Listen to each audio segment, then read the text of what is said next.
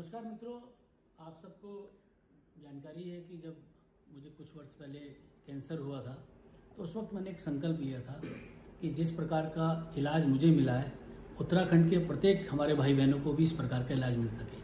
और मैं लगातार प्रयासरत था कि उत्तराखंड में कैसे टाटा कैंसर हॉस्पिटल की एक इकाई खोल सके, उसके लिए मैं लगातार प्रयासरत हूँ।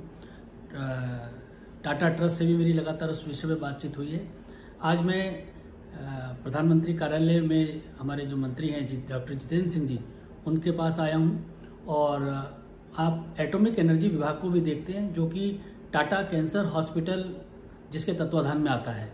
मैं आज डॉक्टर साहब से मैंने रिक्वेस्ट की है कि उत्तराखंड में टाटा कैंसर हॉस्पिटल की एक इकाई खुले, जल्दी से जल्दी खुले और उत्तराखंड के जो हमारे भाई बहन हैं, उनको उनको लाभान्वित वो सब हो सके। तो मैंने डॉक्टर साहब से अनुभव आग्रह किया है और मुझे जिस तरह की हम दोनों की बातचीत हुई है, मुझे लगता है कि उत्तराखंड के लिए जल्दी ही एक अच्छी खुशखबरी हम लोगों को मिल पाएगी।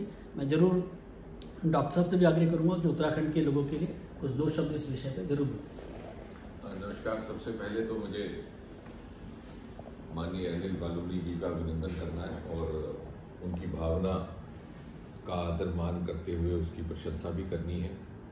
वो हमारे मित्र तो हैं ही हैं, हमारे साथी भी हैं।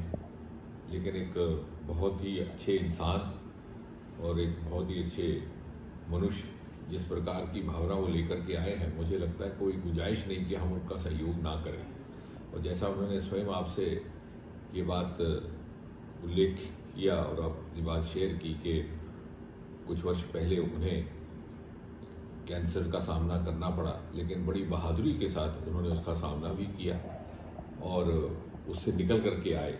और ये एक बड़ी मनोबल की बात होती है इच्छा शक्ति और विल पावर की बात होती है।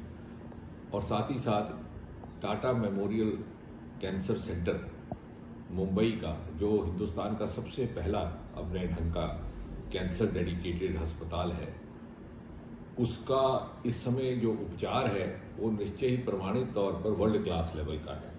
विश्व के किसी भी अच्छे कैंसर मैनेजमेंट सेंटर या अथवा अस्पताल के साथ उसकी तुलना की जा सकती किसी से कम नहीं, भले ही वो चिकित्सकों की दृष्टि से हो, डॉक्टर की दृष्टि से भले ही वो जाँच और इन्वेस्टिगेशन।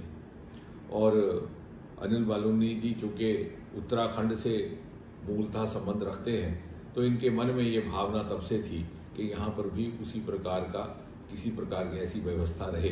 क्योंकि जिस प्रकार से कैंसर की प्रेवलेंस देश भर में बढ़ती जा रही है और पहाड़ी राज्यों में भी बढ़ रही है, जहाँ पहले शायद इतनी नहीं होती थी।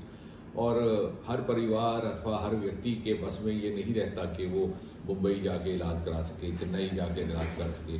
और विशेषकर जब से आयुष्मान भारत आदरणीय प्रधानमंत्री जी ने हमें इतनी बढ़िया स्कीम दी है जो दुनिया की अद्भुत स्कीम है, उसका लाभ भी उठा सके तो उस भावना के साथ माननीय अनिल वालूनी जी ने ये प्रस्ताव रखा है और निश्चय ही हम एटॉमिक एनर्जी के विभाग के समन्वय से और टाटा मेमोरियल सेंटर के समन्वय से ये प्रयास करेंगे कि जितनी बड़ी यह व्यवस्था वहाँ पर स्थापित हो सके, उसका प्रयास किया जाए। इसको लेकर के टाटा मेमोरियल अस्पताल के जो मुखिया हैं डॉक्टर बडवे मैंने उनसे भी बात की है।